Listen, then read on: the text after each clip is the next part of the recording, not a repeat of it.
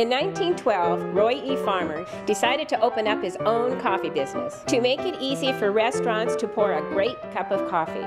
He had big dreams, but he didn't have much money. So he started the company where any sensible entrepreneur would the back of his brother's bicycle shop. By 1915, he had already invested in a new roaster and the best transportation money could buy. An astute businessman, Roy made some key hires early on.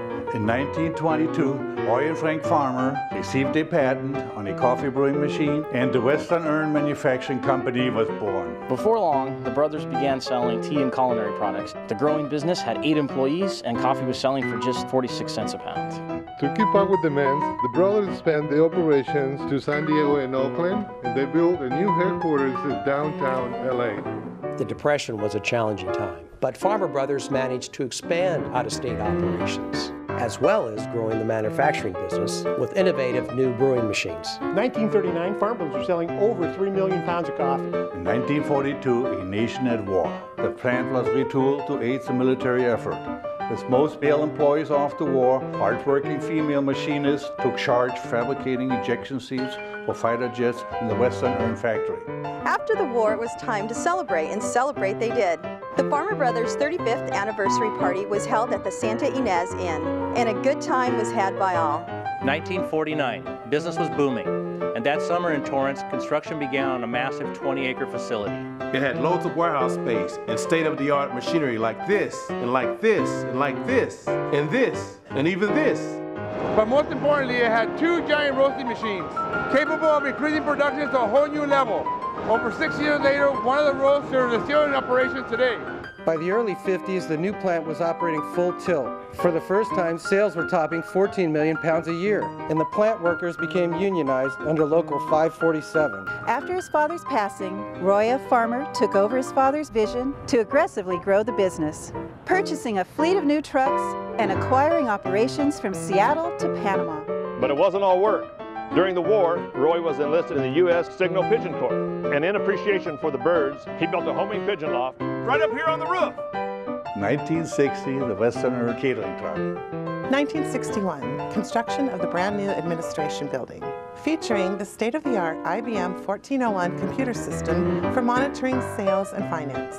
1963, Spice Products Company began in Los Angeles, California, supplying the highest quality spices, herbs, and seasonings in food service and industrial food industries. 1965, introducing the Brewmatic for perfect flavor control coffee, automatically. 1966, 50,000 square feet of new storage space for spices to be ground and milled on site and 20,000 for cold storage. 1972, custom coffee plant, the office coffee division of Farmer Brothers Company, began. Meanwhile, throughout the decade, restaurants serving Farmer Brothers coffee are awarded the prestigious Golden Cup Award 30 times over. The 70s were a time of record sales, thanks to strong demand and a tireless sales force. Throughout the decade, investments in the infrastructure as well as buying out competitors' operations created a strong foundation for what was to come.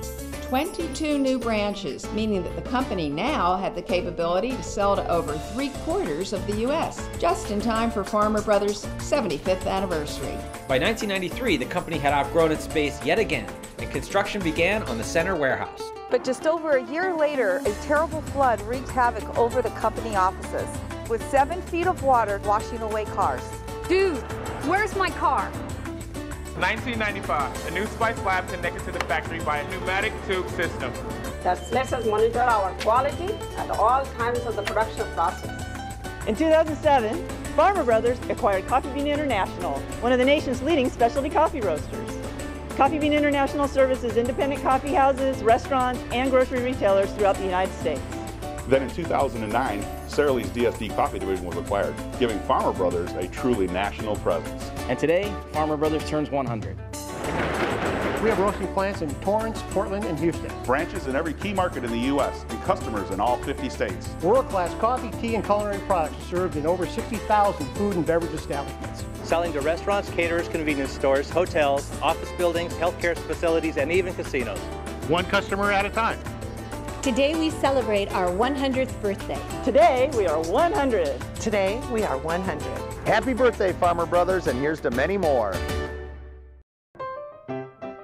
Happy birthday, Farmer Brothers. Happy Happy birthday, Farmer Brothers!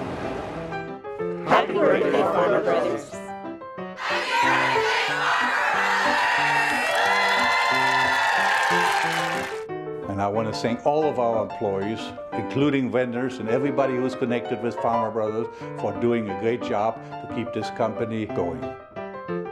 On behalf of all the employees, I want to say thank you for helping us celebrate 100 years of success, and we're looking forward to 100 more.